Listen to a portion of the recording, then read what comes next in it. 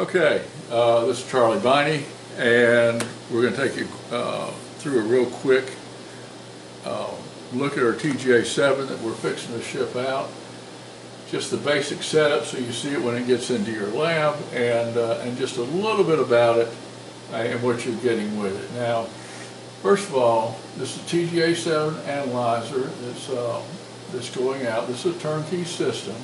You have the analyzer, you have the TAC controller, which is the interface to the computer, and this is going with the Dell Optiplex uh, with Pyris 5.0 software.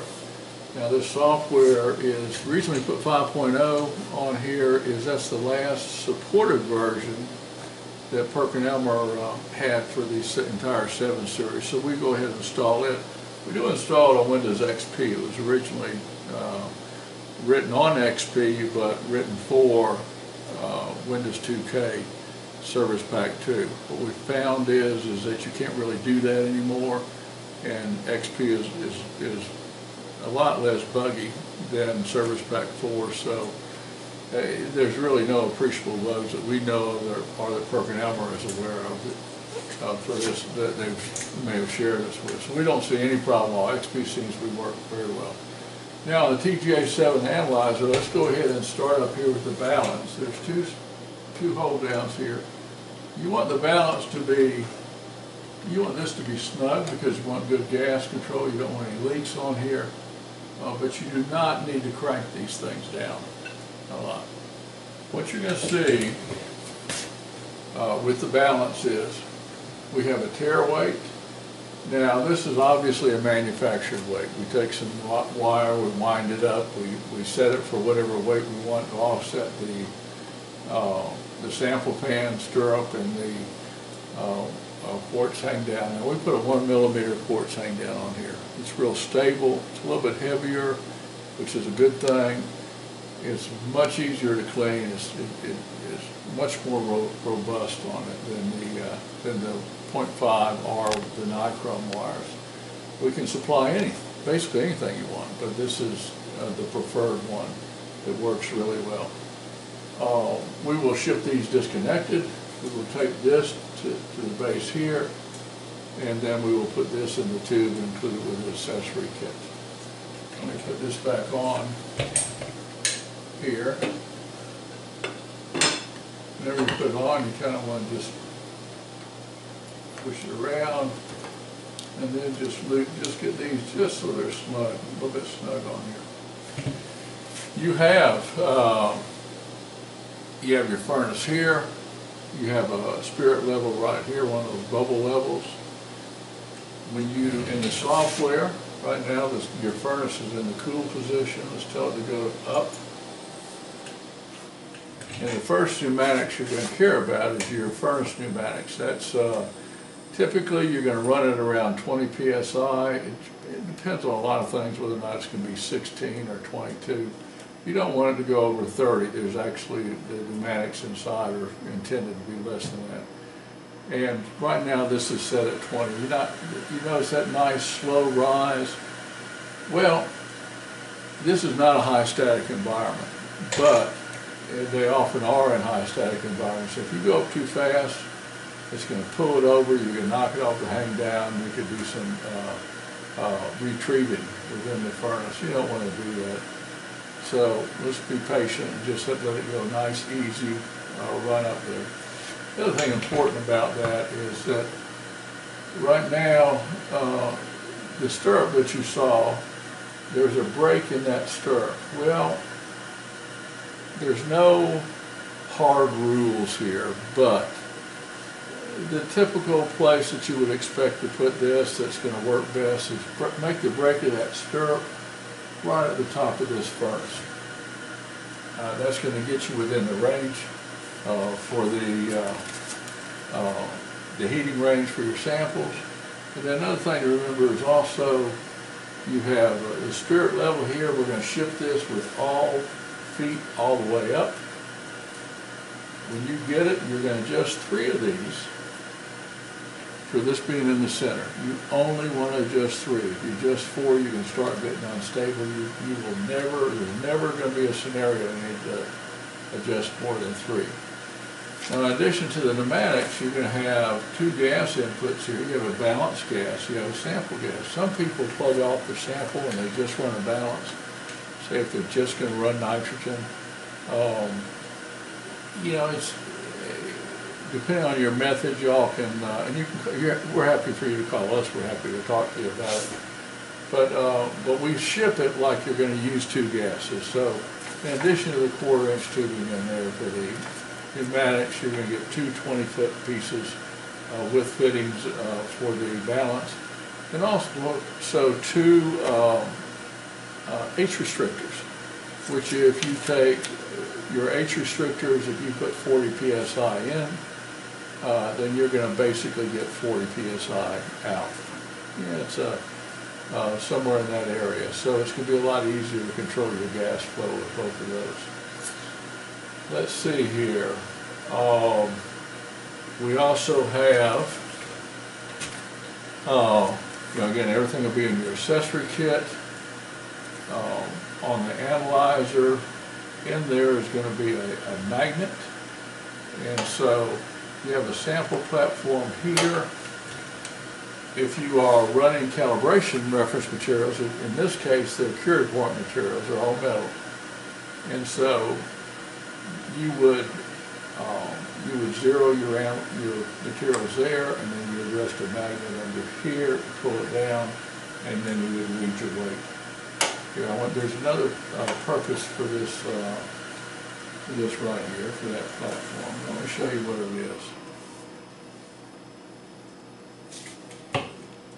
A ton of people, including service guys, including almost every service guy, has at some point in time decided that they were going to, and I don't have a tweezer right here, take off this, the pan, take off the stirrup, or even load their sample just from right here.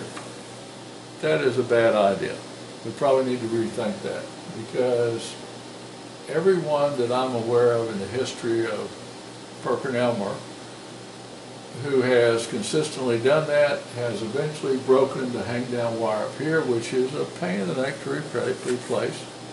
And it, uh, we have directions on how to do every bit of that. We're happy to send you, we're happy to do it ourselves, of course, we charge for that. Um, if they didn't do it the first time, they're gonna do it the hundred and first time, they're gonna do it sometime. So the platform is here for this. You can actually raise this all the way up and swing it off of the platform, just like that. Or you can hold it steady and put your samples in. Typically, what you're, you're gonna do is that you can take it down, you can put your sample in here, you can actually put it down here and put your samples in. Depending on what sample, you'll figure out your, the best way to do that. But when you are, uh, when you're reloading it, you're gonna be a lot happier. And by the way, that did not take very long, doing it like that, instead of paying for an expensive repair or breaking it, breaking, uh, you know, the, uh, one of the, one of the products there. Now, uh, let me talk about, a little bit about what you're gonna get. You are going to get a, uh, a copy of Perkin-Elmer's published specs for this analyzer. Uh, Basically, you're talking about sensitivity, volume. They do publish uh, precision for the standard furnace and for the high temperature furnace. Yeah, that's pretty much it. There were, there there were, uh, background service specifications on this analyzer. There were also manufacturing specifications on noise and drift for zero, uh, weight and for five hundred milligrams. We, we calibrate for those here and, uh, and make sure that they meet them, so you'll get that on here also. And we will have, uh, the runs, we typically run those several times, you may have a couple of these on your analyzer. I will tell you that these, um, the no-load drift and noise specifications are very tight. This is a, uh, 0.1 microgram balance, they're very tight. If you do not have a good incoming line with a real solid ground, you will have trouble doing this. If you have static issues in your lab, you're gonna have trouble reproducing that. You know, there's a number of things, you really have to be operating a, uh, uh, have good operational uh, stability, you know, to pull these out. But once you do, they're very, they, they fall right in there. The runs on this particular analyzer are, are well within specifications, and uh, those specifications are gonna be uh, printed here on the pre-shipping checklist, right there.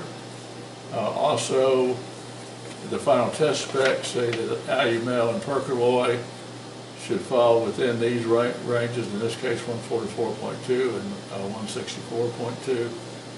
And then uh, the same thing, Perkalloy five eighty-six, and uh, six oh six, these are uncalibrated runs. Ours, you know, we've got up there on the higher end again, but we can adjust that anywhere we want to to bring those back, back in, if you wanted it to be somewhere else. You're also getting um, uh, a test run after calibration here, and you will see, we did some, uh, some reproduction runs that that we're gonna send with you too, and it's easy to see some oxidation on here as, uh, and we put another run in the, in- with this particular analyzer, we put another run in where we didn't purge. Here we purged the minimum, uh, to make a, a middle run, uh, because we know they're gonna oxidize if we have any air in there at all. So this was the bare minimum. We, we included some runs with this analyzer to give you an idea what happens when you run it in air. So we put the, so we did not purge long enough. And it's interesting, we, uh, just as a, to stand back and look at that, and we'll discuss that with this customer, with the, um, uh, when we do the, the training course on, uh, on this, the web uh, training course on, you know, what are some of the precautions you want to do when you calibrate, what can you expect, how does this compare to running a real-world sample, that sort of thing. And let's see here. I think that's it. Uh, Components these, here, this will all be initialed by whoever's packing to make sure that they are there. And I think that's it. Uh, If you are, if you're getting with this analyzer, I hope you enjoy it. The installation I'm sorry? files, the help files on the installation. Oh, I'm sorry. Okay, by the way, that's Andrew back there. Among other things, he plays in a band, but he is the guy you usually talk to on the, on telephone. He's actually play on our square this summer. You know, he's actually a viable human being, so. But I'm glad he reminded me of that. There is, and, uh, oh, in addition to this, and, and the, and the, the webcast we're gonna do, Perkin-Elmer has got a lot of good information in their help files, and there is an installation help file for this and most of their analyzers. Let me show you where it is. If you go to Start, Programs, Pyris, Pyris Help, Pyris Installation Help, you see a long list of instruments that were available at the time that 5.0 came out. We, this will still run on 9, and actually the, the, nobody's found any bugs on it on 10. It's hard to get, to get 10 functioning, but, um, uh, right here, at 5.0, there's a list of, of what was running then. And you have the TGA 7 installation. And you could pretty much uh, go through this entire thing and it'll have, uh, um, how to unpack it, what the system components are, you know, connecting those. Some of the information might be uh, obsolete today. For instance, when this came out, I don't believe that they were putting quartz hang downs on you know, that sort of thing. But other than that, it's pretty good. I hope that helps. Good luck, and uh, we're always here if you need us.